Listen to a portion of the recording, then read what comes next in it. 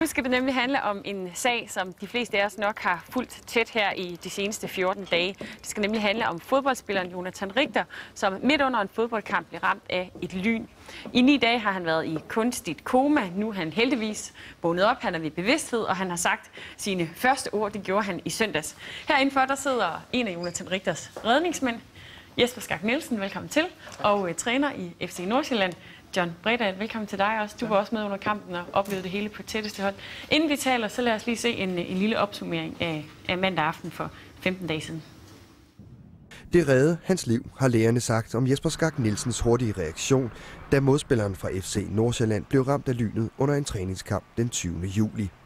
Stillingen var 3-2 til FC Nordsjælland i begyndelsen af anden halvleg, da et lyn hamrede ned i grønsværen på Hvidovre Stadion og sendte tre spillere i jorden. Kun to af spillerne rejste sig igen. Den sidste, FC Nordsjællands Jonathan Richter, lå ubevægelig på græsset. Men en hurtig reaktion fra Hvidovre-spilleren Jesper Skart Nielsen og FC Nordsjællands fysioterapeut Anders Jensen holdt Richter i live med førstehjælp, indtil ambulancen kunne tage ham med. Og nu, efter ni dage i kunstig koma på Hvidovre Hospital, ser det altså ud til, at Jonathan Richter kommer sig. Ja, heldigvis ser det ud til, at Jonathan Richter han kommer sig. Jesper Skak Nielsen, prøv lige at tage os tilbage til, til den aften. For nogen, som ikke har oplevet et lynnedslag, så er det svært at forestille sig, hvad der sker. Hvordan husker du øh, minutterne deromkring? Jamen, vi har, øh, vi har lige scoret, øh, og, øh, og egentlig ved at give bolden op, da det begynder at regne helt vanvittigt. Øh, egentlig så tyk regn, at vi knap nok kunne se fra den ene, øh, ene side ind til den anden. Øh, men bolden bliver givet op, og så bliver den sparket langt over i, over i vores venstre side. Og der skal Jonas op og, og hætte til den, øh, sammen med en af vores forspillere. Og så øh, i de splitsekunder, bolden hænger deroppe, der, øh, der bryder der bare et lyn op i himlen, og så går der en, en, en hvid søjle ned. Øh, og så kommer der et kæmpe drøn. Ja. Og øh, det rykket bare igennem kroppen på mig. Ja. Øhm, og så ser jeg mine to holdkammerater, der er lige omkring ham, som øh, falder til jorden rimelig hurtigt. Øh, og så kigger jeg ned på, på Jonas, som bliver sådan helt stiv i kroppen.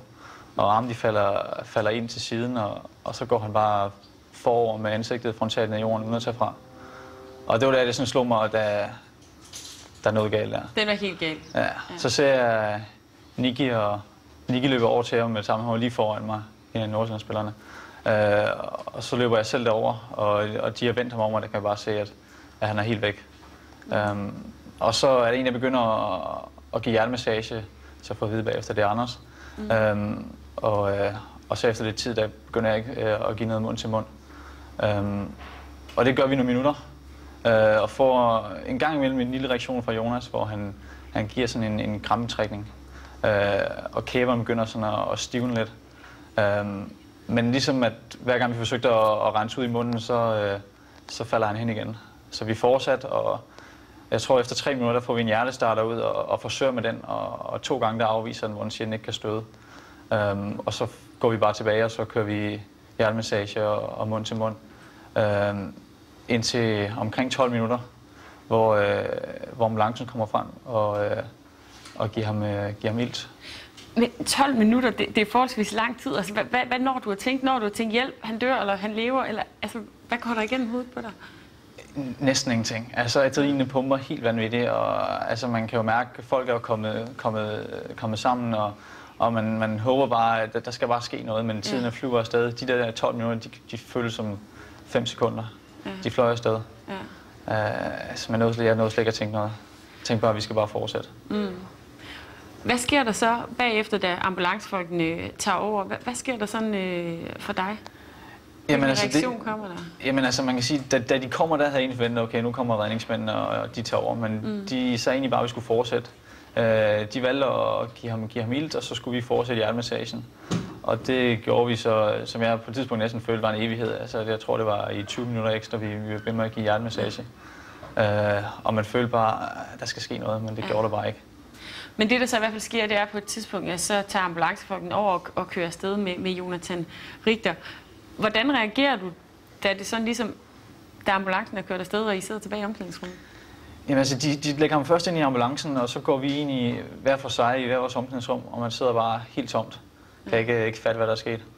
Um, og der sidder vi i noget tid og bliver så bagefter ført ovenpå, hvor vi, hvor vi skal til at have den her psykologiske debriefing. Mm. Og, og der ligesom det hele går bare, går bare i stå for en. Man sidder bare, hvad fanden er sket?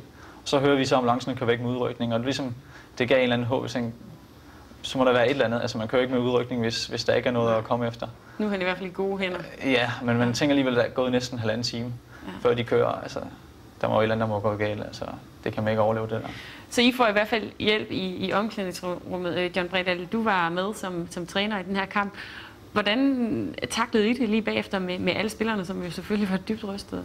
Jamen, det er jo ligesom delt i nogle grupper. Øh, Nogle har været med i kampen. Enkelte spillere var på tribunen, fordi de havde spillet mod FCK dagen før, og nogen var slet ikke til stede. Men øh, klubben reagerede hurtigt og professionelt ved, at vi øh, meget hurtigt fik, øh, blev kaldt i klubben halv ni, ni om aftenen, og der stod krisemandskab klar til os. øh, Blandt andet vores egen klublæge, men også øh, krisehjælp for Falk. Mm. I, øh, i 9-10 dage, der ligger Jonathan Richter i kunstigt koma. Så i slutningen af sidste uge, der kommer han ud af det her koma. Han, det bliver konstateret, at han forhåbentlig slipper uden hjerneskade, og han siger sin første ord søndag, nemlig at øh, det går stille og roligt fremad. Hvordan reagerer I i, i truppen og i klubben, da I hører det? Vi får meldingen, jeg får den på telefonen øh, nogle timer før vi skal møde til en, til en særliga-kamp mod Randers, og øh, jeg tror, nogle af spillerne også har fået det sådan af andre spillere, der har vidst noget, og øh, vi laver en briefing, inden vi egentlig holder taktik mod, og det er en utrolig lettelse. Mm. Det er noget, vi har ventet på i 10-12 dage, ikke? og tænkt på familie og hans tvillingbror, og Jonas selv selvfølgelig, og, og vi har kæmpet med ham, ikke? og så, så vi sad med tårer i øjnene, ganske enkelt. Hans tvillingbror, som også spiller i, spiller i klubben. Ja.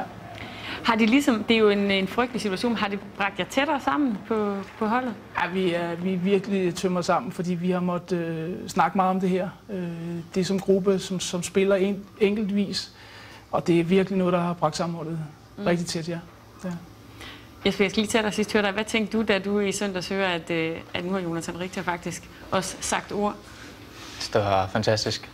Altså, jeg havde, jeg slet ikke kunne drømme om, at det, det kunne lade sig gøre efter, efter det, der var sket. Mm. Det, var, det var helt vildt. Det var så fedt. Det var fedt at se reaktionen op fra, fra jeres trup af. Altså, det var... Jeg tænkte bare, det, det må være det, det, er det fedeste. Det, er, det kan redde det hele der. Ja. Altså. John Brennan, hvad er den seneste melding om, om Jonathan Richters tilstand i dag? Jamen, det er stadigvæk, at det går langsomt fremad, ikke? Og øh, der har han bevæget nogle af sine lemmer, og det, det går den rigtige vej. Ja. Vi krydser i hvert fald fingre for, at øh, det går fremad hver dag for Jonathan Richter. Rigtig mange tak, fordi øh, I kom begge to her aften. Selv tak.